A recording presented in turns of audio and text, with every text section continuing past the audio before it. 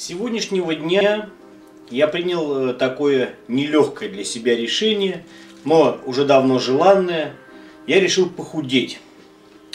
Дело в том, что когда-то, еще до свадьбы, я был очень худой, очень жилистый, очень худой. По мне можно было изучать анатомию. То есть я был сушеный. Не сказать, что я был прямо атлетически сложен так, что у меня были очень большие мышцы, я был очень хорошо, конечно, развит, был очень вынослив. Я подтягивался 36 раз, выход на 2 14 раз делал.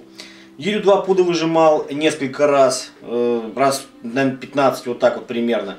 Но был я худой. Вот.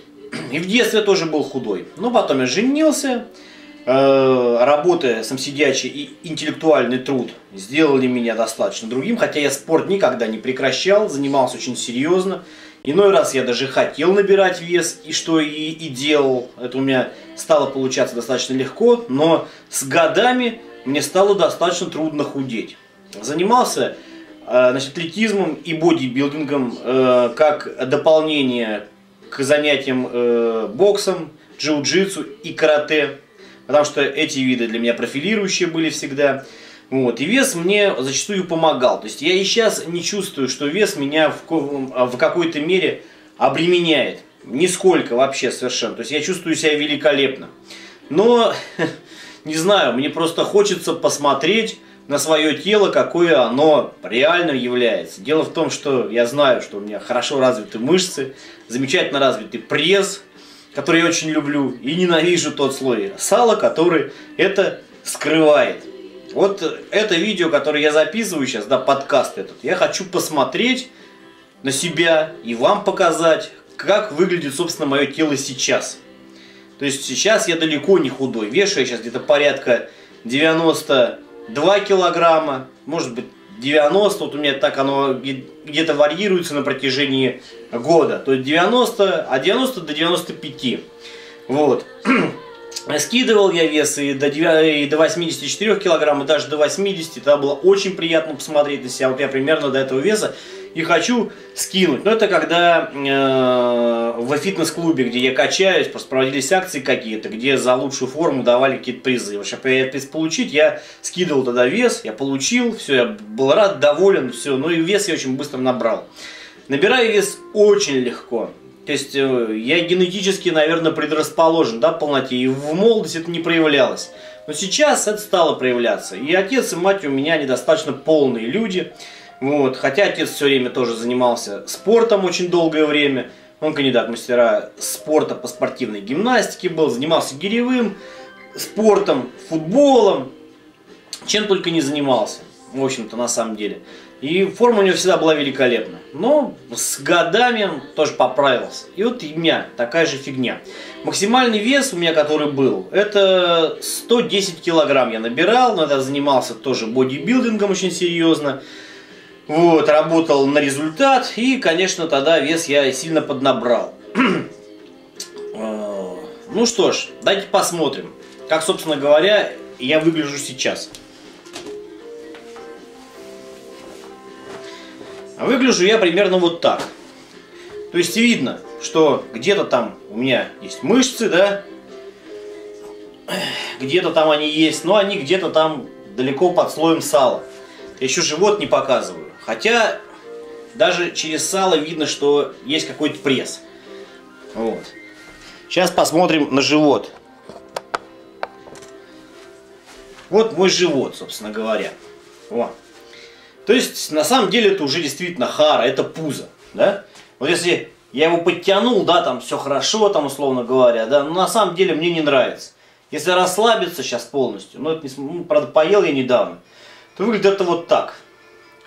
И на самом деле мне не хочется показывать вам э, то, как это показывают в рекламных каких-то буклетах, да? Человека там снимают, вот такого, как я, который когда чем-то занимался. Вот в таком виде он еще раздувает живот вот так вот, стоит такой, да, пузо показывает свое. А потом, значит, э, это типа до. А после он вот так вот делает, раз так, и немножко таз поджимает под себя. И говорит, а это, говорит, это после. На самом деле не хочу я так делать. Я хочу, чтобы все было по-настоящему. Все по-настоящему. У меня, как у большинства мужчин, жир внизу скапливается, живота, да? У всех, ну, почти мужчин, это как бы зона. У женщин это бедра, да? У мужчин сначала здесь, потом вот здесь, да, на боках. Вот. Ушки вот эти вот так называемые появляются. Над этим, собственно говоря, я и буду работать. Что хочу сказать, что э, я такой делаю вывод, да, я, дабы не смущать своими телесами себя, сейчас маечку надену. И разговор-то мы продолжим дальше. А в следующем ключе мы продолжим разговор.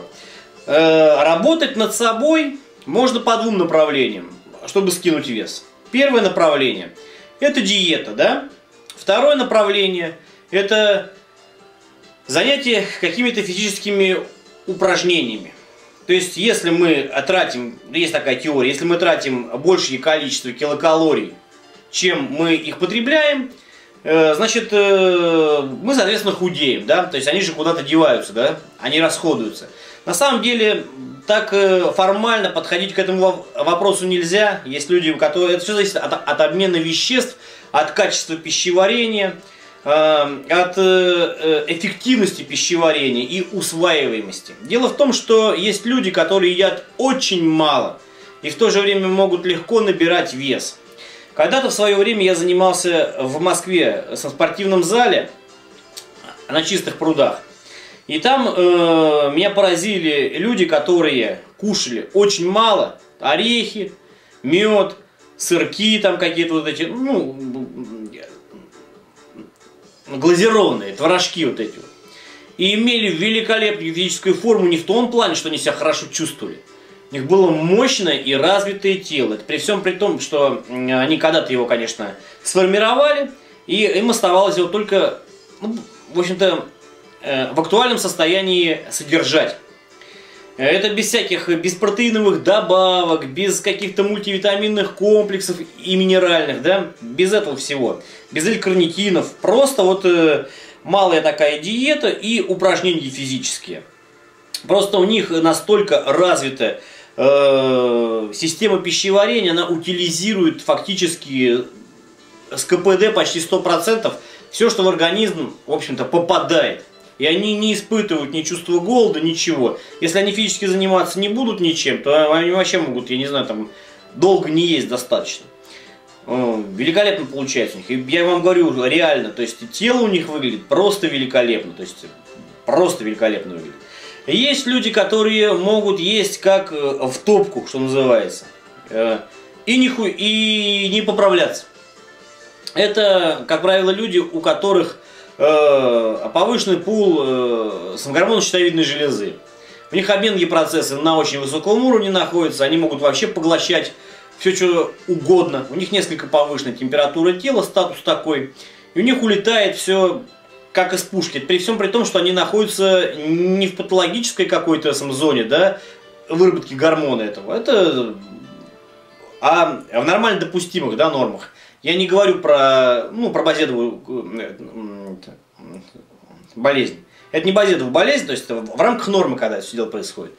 Вот. Есть люди, у которых не усваивается, да, то есть они не сварение, что называется, они постоянно пищеварительные какие-то ну, расстройства. Они едят тоже, как в паровоз, закидывают, но у них на самом деле все, что они съедают, все выходит. Вот. Есть люди, которые едят не те продукты, которые надо, или, вернее, те, которые, может быть, надо для того, чтобы не поправиться. Если вы будете лопать одни салаты, капусту, не знаю, там, не жареную, а вареную, свежую, салаты какие-то свежие, вы можете разбивать живот до состояния, там, не знаю, бегемота. Но поправляться в плане э, жира, э, ну, отложения жира, вы не будете. Вот. То есть на самом деле очень много зависит от диетики, от личного сам статуса. Вот я в еде не отказываюсь, в общем ни в чем. Я люблю покушать хорошо, люблю мясные блюда, очень мне они сильно нравятся. Люблю гарниры хорошие, а макароны обожаю, без хорошие макароны, просто обожаю их. Вот. Ем фактически все. И вкусно люблю поесть. Не отказываюсь ни в чем. Спортом занимаюсь активно каждый день, не по одному часу. Я и тренирую, и тренируюсь сам. Ну вот я говорю, остановился на весе, э, который 90 килограмм. А хочу я достичь веса 80 килограмм. Утверждаю, что смогу это сделать, ну, где-то на протяжении месяца или полутора, не очень-то себя э, сдерживая. Чем же я буду, э, ну, чем я руководствоваться буду, да? Э, что я буду делать, чтобы похудеть так? Конечно, я чуть-чуть изменю диету. И больше всего я изменю ее не столько даже качественно, сколько изменю ее, в общем-то, ну, количественно. Особенно того, что касается гарниров, содержащих легко усваиваемые углеводы. Это картошка, это макароны, особенно мягких сортов. Ну, я, их и не ем, как правило, я люблю твердых сортов, да, макароны. Из, э, ну, пшеницы твердых сортов. Но я постараюсь, есть этого поменьше. Почему? Э, да, и всякие конфеты, исключу сахар. Я, конечно, сахар я уже, в общем-то, давно не ем. Я пользуюсь сам сахарозаменителем. Вот. И хочу сказать, что это очень сильно влияет, э, очень сильно помогает. А попробую даже еще и чай пить, зеленый или черный, даже без сахара. Постараюсь в этом найти какое-то удовольствие. Многие люди считают, что это вкусно и хорошо. Когда-то я тоже пил чай без сахара, было время. И тоже находил, что это вкусно и хорошо. Потом опять пристрастился есть сам сладкий, вернее, ну, пить чай и даже пить сладкий чай со сладкими конфетами и вареньем. И, с белым, и все намазывая на белый хлеб и все такое прочее. Я и, и сейчас буду это делать. Просто это буду делать намного реже, э, чем делал до сегодняшнего дня. Э, я не буду голодать. Ни в коем разе. Есть я, возможно, буду даже чаще, чем я ел до этого. В чем дело? Э, человек, который решил похудеть, не теряя мышечную массу, он не должен быть никогда голодным. Никогда. Иначе у него начнут утилизироваться его же собственные ткани. И прежде всего те ткани, которые легко могут утилизироваться. Есть сахара, есть э, белки. Это взаимозаменяемые вещества. Они могут синтезироваться друг из друга. Не в полной мере, конечно. Э, из сахара белок э, не синтезируешь. Если будешь один сахар есть, то это очень делать трудно. А вот из белка сахара получаются элементарно. И когда мозгу не хватает сахара, э, но организм, ну, гликогена мало, глюкозы мало в организме, он начинает в первую очередь утилизировать собственные белки. Но не жиры. Жиры во вторую очередь. Поэтому, если человек э, худеет из-за недостаточного количества пищи, из-за того, что голодает, то он теряет массу, да, но он теряет всю, и в первую очередь мышечную массу. И он вроде худеет, но некрасиво худеет. То есть он массу тела теряет, но он теряет и силу свою теряет, мышцы теряет. Он сдувается, как будто шарик. То есть вот был такой шарик большой, а он сдулся и форму не поменял, какой он был, вот такой вот э, некрасивой формы, условно говоря. Он такой формы и остался, просто подсдулся. А вот для того, чтобы мышечный каркас сам сохранился, особенно если он был хороший, вот, а жир ушел, для этого человек э, голодный должен, не должен быть никогда. Он должен быть постоянно сытый. Но качественно он должен потреблять, конечно, белки. Он должен потреблять э, овощи, не жареные, и даже в меньшей степени тушеные, больше ну, вареные. Это для того, чтобы нормально функционировало пищеварение, потому что на одних белках пищеварение может тоже немножко подрастроиться. Что касается мяса. Мясо тоже надо есть, конечно, не очень жирное, но сухое мясо есть это очень тяжело. Те, кто это делал, они это дело понимают прекрасно. Поэтому нормальное, не очень жирное мясо надо кушать. Не надо себя сажать на одни куриные какие-то э, ну, грудки. Вот. Э, расскажу я вам сейчас, как я сегодня в первый день уже построил собственную диету. Я сейчас стою перед вами вполне, в общем-то, сытый, да.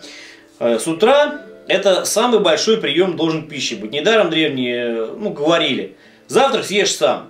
Вот завтрак у меня был сегодня достаточно весомый. Это было три пирога с мясом, это было кофе, был кофе, или было, сейчас уже по-всякому можно говорить, с сахарозаменителем. А, вот. И макароны, которые я вчера не доел, на 2 столовые ложки буквально, и половина сардельки. Все это я значит, съел после тренировки с утра и хочу сказать, что это немало. Я реально живот-то набил. И даже подумал, что можно было и в меньшем количестве позавтракать. Но я решил завтраки сейчас делать самым содержательным и самым емким да, приемом пищи. Самым большим.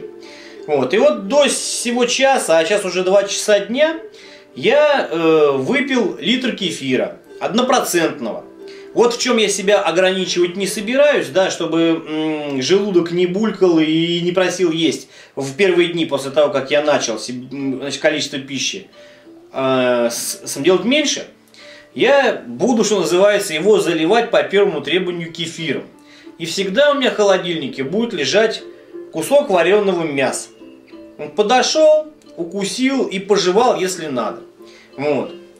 Вот и сейчас обеденные время настанет, сейчас я пойду и съем кусочек мяса с овощами. Ну что ж, э, а, и сразу скажу, что у меня запланировано сегодня на вечер. А на вечер у меня запланирован салат из овощей свежих. Может быть, я яичницу съем на ночь с кусочком мяса. Снова же. Вот. Овощи нельзя забывать, ни в коем разе. Во-первых, и белки лучше будут ну, усваиваться с овощами свежими. Вот. Хотя э, и мнение прям противоположное. Э, но лично я буду поступать вот именно таким вот образом. А вы сможете оценить, будет ли от этого эффект. Ну, конечно, не завтра, безусловно, а в процессе.